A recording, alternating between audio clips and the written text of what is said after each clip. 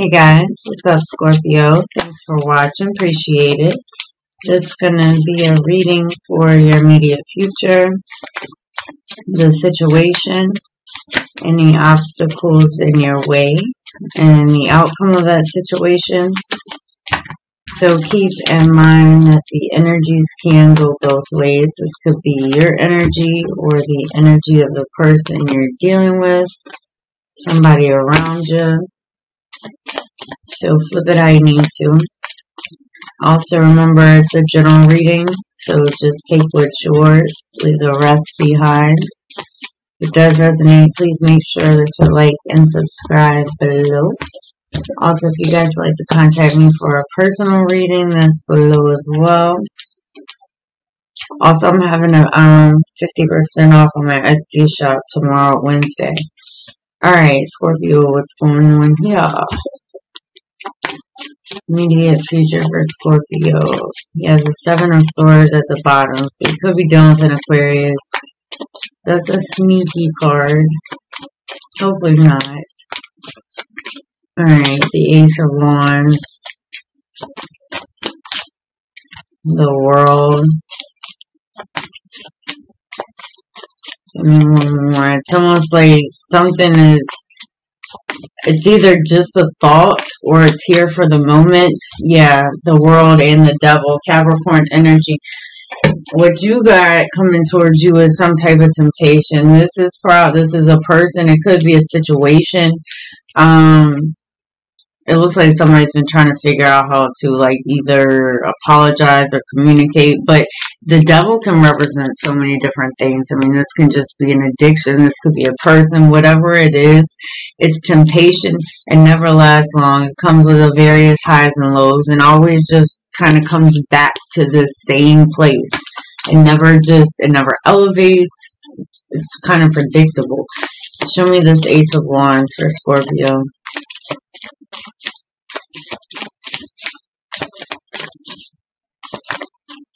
it's like something that might change with the seasons. The Knight of Swords, you could be dealing with a younger um, air sign. The Nine of Wands. This is something, see, with the Nine of Wands, that's the Wounded Warrior card. So you've been through this before. There was, like, something here, and it could be, like, sexual, it could be whatever it is towards, for you, right?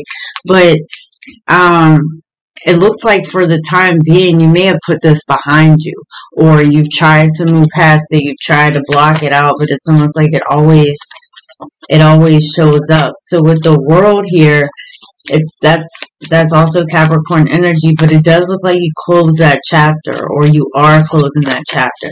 So the Hierophant could be done with the Taurus for some um, that can be a lot of things. It could be like a, a very controlling marriage. It could be, oh, for some, you know, something religious related. Or you could have done it for those reasons. Like something, something just wasn't at your standards. Whether you knew it or not. Show me one more for this world. The Knight of Cups.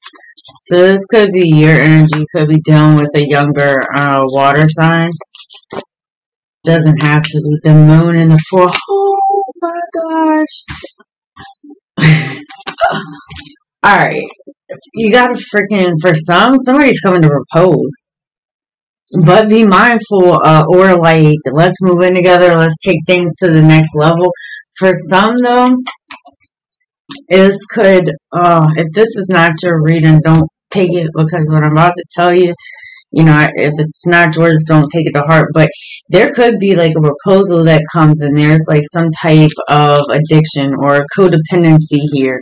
This could be for some, not for all. Remember, um, like I want to see this devil because this could be like a marriage that ends up really controlling or like show me the moon first let's start there for some, I mean, you do have a, you'd have a proposal coming that you don't see. Hold on, I dropped a card. But you definitely have somebody spying, somebody stalking. Um, for some, there could be something like along the lines of, I don't even know how, like it could have something to do around like a family event. Somehow it could be somebody in the family. Show me this devil. I mean, not the proposal part, like doing some spying. Because this could also go to stalking. It's like almost obsessive. The Empress, Taurus, Libra energy. Oh my goodness. So, yeah, they definitely have feelings for you. But the Empress, you're like sitting on your throne here. Don't, uh, don't be naive, I guess. Show me this Empress.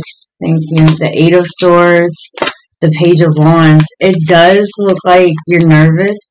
Like whatever this is makes you incredibly nervous here. But remember what I was saying about this wand. Like, you know, you move, you you got it, it pops up, you, you move past it, and now it's here again that page of wands. I don't know if I was saying that, if I said it out loud or not. But it does look like you're curious about it. Oh my. Just trust your intuition. Because, I mean, maybe, you know, there's somebody else spying in the background. It already looks like with the Queen of Swords, you're, you, you may be a little skeptical of this anyways. But it does look like you're curious. The Eight of Wands, movement, communication. Alright, Scorpio. There you have it. You got juicy. Alright, I hope this helps. If it resonated, please make sure that you like and subscribe below. If you guys like to contact me for a personal reading or phone reading, that's below as well. You guys take care, and I will see you next time.